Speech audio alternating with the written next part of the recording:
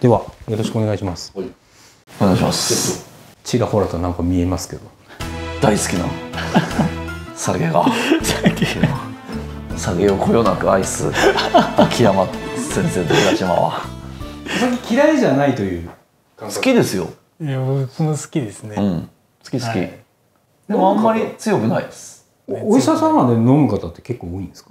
多いですよいね、や多いですね、もう。特になんかやっぱストレスがたまるから、うん勤務してた時は本当しょっちゅう、忙しければ忙しい病院の人ほど救急病院とかの人ほど行ってます。やっぱストレスがかかるんでね疲れて。あれ難しくないですか？今はどうなってるか知らないですけど我々の時代はね結構もう勤務外になるんですよねあれって、ん。だから飲んでもいいみたいな感じの世界でしたよね昔は、うんそうですね。今はどうなのかちょっと知りませんけど。あもう何？えっ、とお仕事終わって帰ったらもう勤務外だから別に飲んでても構わないよって話です。そうですね、でもそれで呼ばれることありますよね、でもそんなこと言ったら、ま、365日飲めないですもんね。そうですよね。うん、だからそれは我我々の昔の時代はそれはもう全然 OK っていう感じのうん。世界でしたね、今は分かんないですけど。まあちょっと今時代がどんどん変わってきてますからね時代がねやっぱりい変わってるんでろんなねこともありますからまあということもありますけどちょっと今日お酒を並べてみたんですけど、はい。今あれなんですよ。あの 厚生労働省が7月5日にアルコールについての基準だったりねあのちょっとどれぐらい病気と関係があるのかっていうのをこれから定めていこうっていう会議やってるんですよね、ん。厚生労働省がね。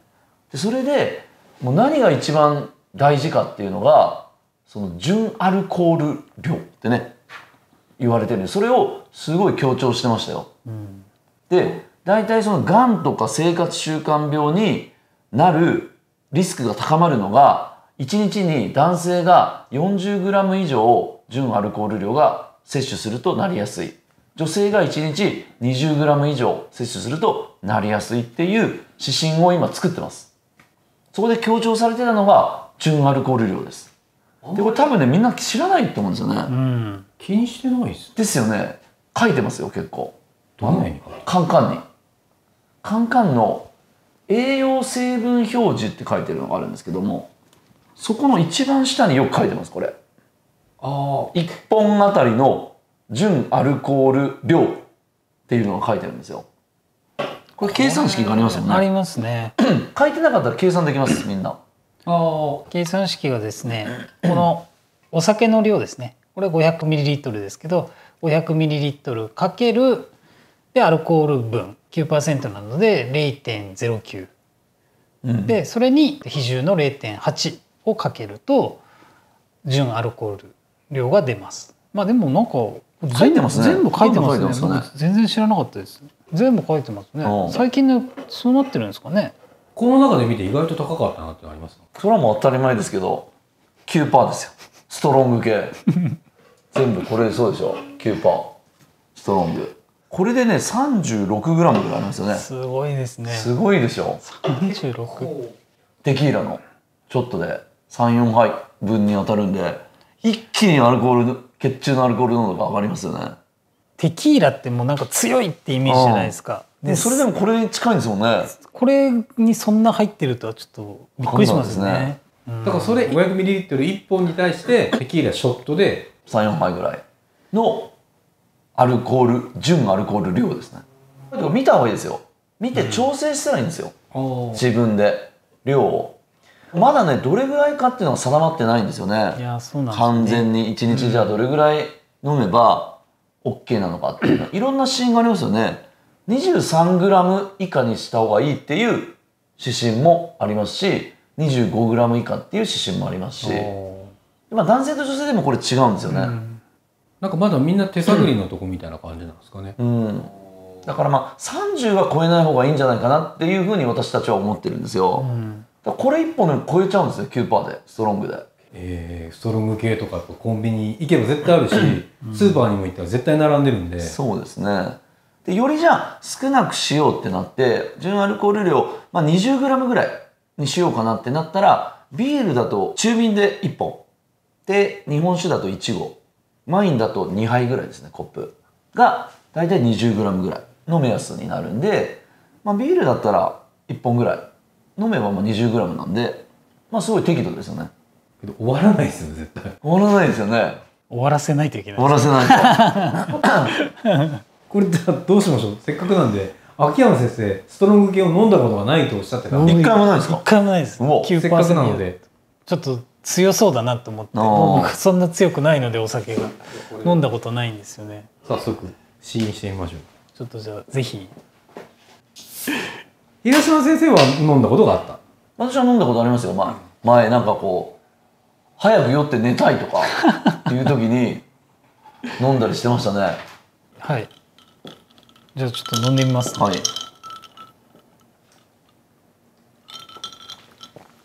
あ強いですねこれ。強い。アルコール強いですね。わかる？わかります。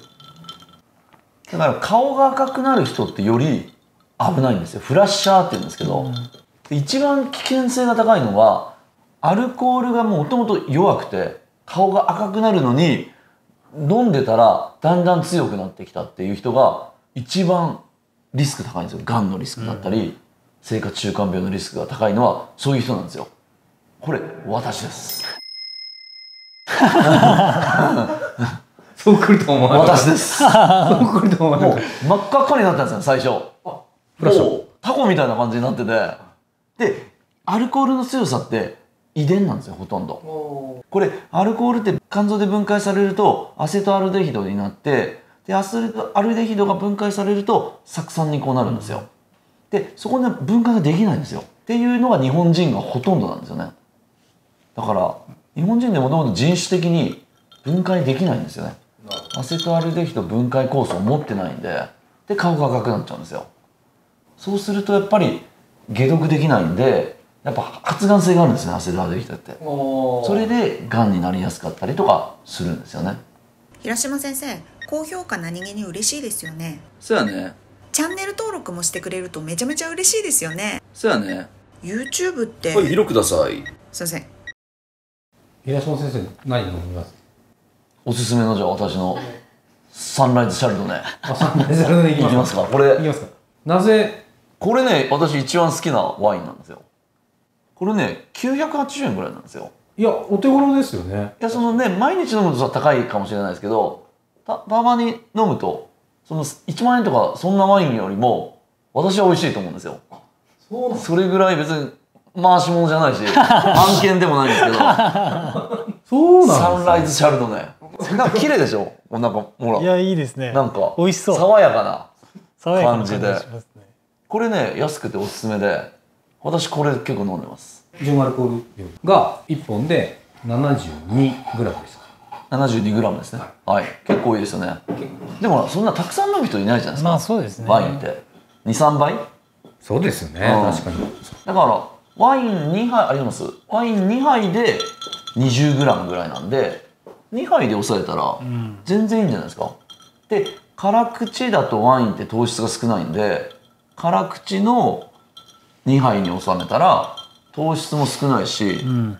いいんじゃないかなとあこれですよ。これです。サンライズおサンライズシャルドネすごい爽やかな匂いがしますね。うんあの変になんか高いワインよりも美味しいですよ。でもサンライズシャルドネあれ1本で純アルコール量が 72g じゃないですか、はいはいはい。でこれでこれ1本で 36g でしょ？9%でしょ？これを2本飲んだらあのワイン1本飲んでると一緒でしょ？一緒ですよ結ね構これ2本飲む人いますよね。いや絶対いますよこれ2本とか普通。3本ぐらい飲んでる人いますよでしょ？えこれ500で1本で36でしょ？2本でフルボトル飲んでるようなもんですよ。いやすごいすごいですよそうだから。考えるとこれすごいストロングって。ストロングすごいですね